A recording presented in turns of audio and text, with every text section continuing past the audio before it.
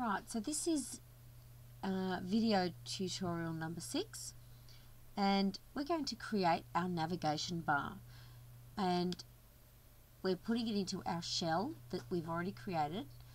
You'll notice that mine's changed from the previous tut um, because I had to redo the video so that's why this picture looks different. Don't panic, it's okay. And we need to insert um, an div I'm just going to let the crosshairs line up and I'm going to make it 700 by 100 so where are we? That's 100 I measure oh no it's 50 because the buttons are 50 so that's about right.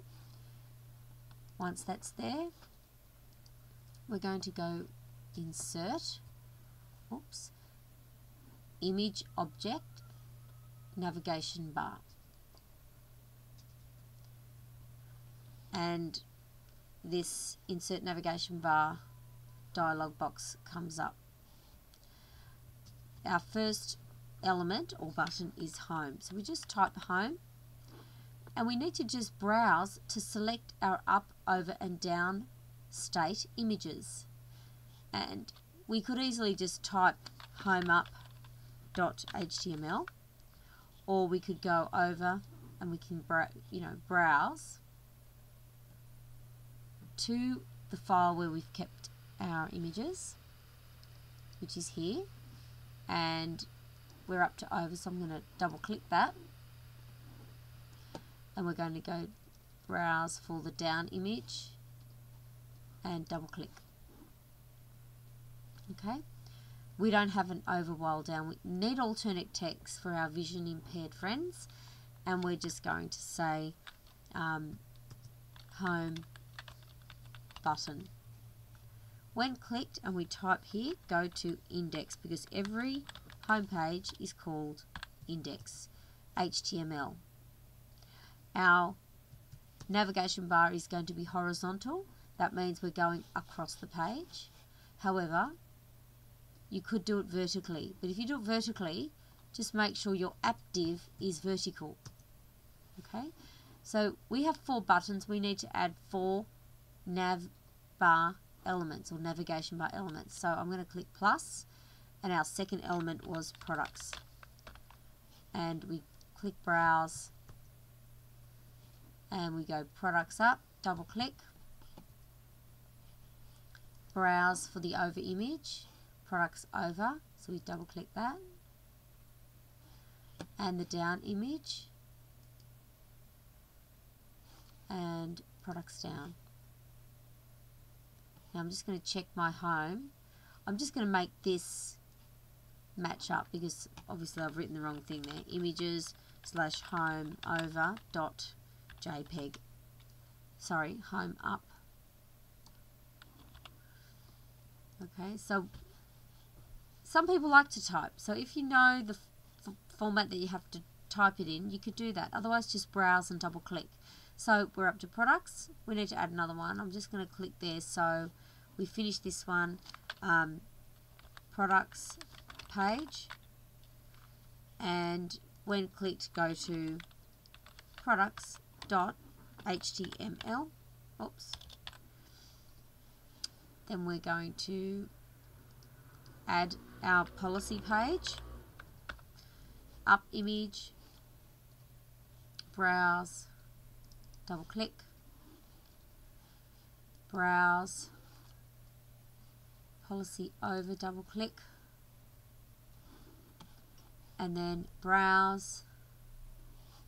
Policy down double click. Um, alternate text policy page.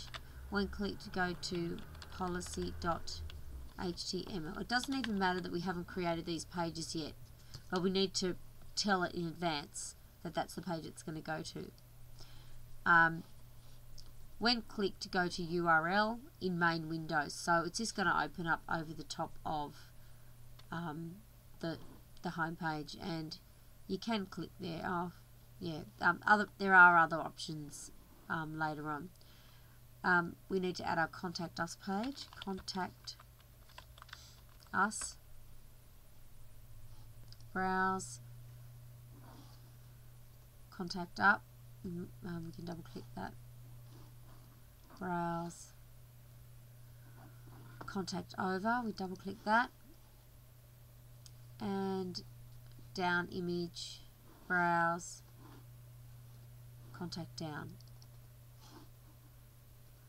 Alternate text, contact us page, and when clicked, go to contact.ht, oops, HTML. Now that's our four buttons. Home, Products Policy, Contact Us.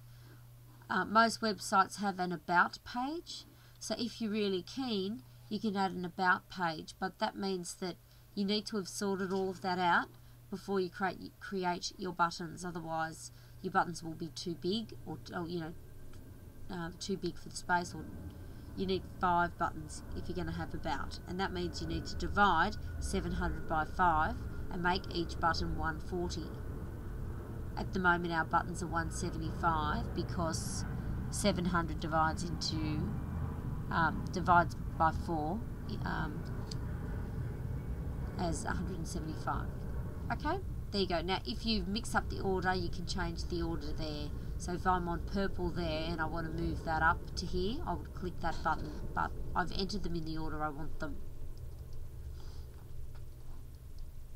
Okay, so I've just clicked OK and yay, there is our beautiful navigation system. And if you, you can check in live view just here and this kind of shows what the website will look like once it's a real website. So I can click and you can see that it changes somewhat. Now it's not 100% identical, but it gives you an idea of how it's going to look. So I'm going to click out of live view and you'll notice the asterisk. It means that I have not saved yet. So I'm going to save. Luckily there are no problems.